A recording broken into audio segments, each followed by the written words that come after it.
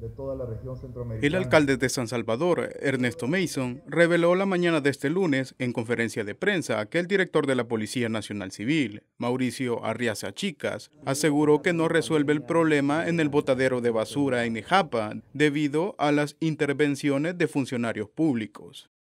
Y me dijo, yo estoy recibiendo unas enormes presiones de varios ministros, me dijo, y lo que necesitaría es algo de la fiscalía que me respalde para poder actuar.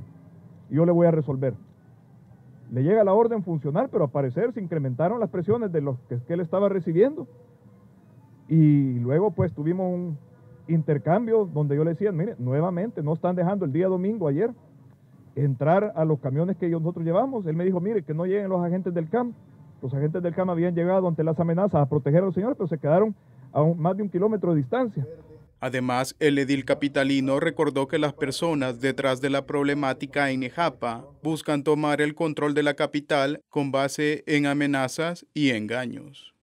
Desde hace una semana el señor Rolando Castro y el señor Mario Durán, valiéndose de sus cargos ministeriales y usando recursos del Estado y esas malas prácticas políticas que le caracteriza, ordenaron a sus violentos sindicalistas de Astram a que bloquearan el acceso de los camiones y rastras de San Salvador para depositar en el relleno sanitario de Nejapa, sino también las turbas que han estado ahí presentes con la permisividad de la Policía Nacional Civil, y hay que decirlo, con muchísima preocupación.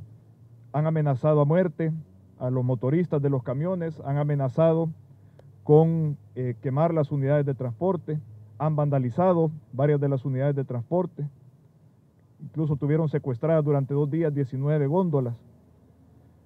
Y muchas de estas amenazas se han hecho y muchos de estos actos vandálicos se han hecho en presencia y ante la anuencia de los agentes de la Policía Nacional Civil.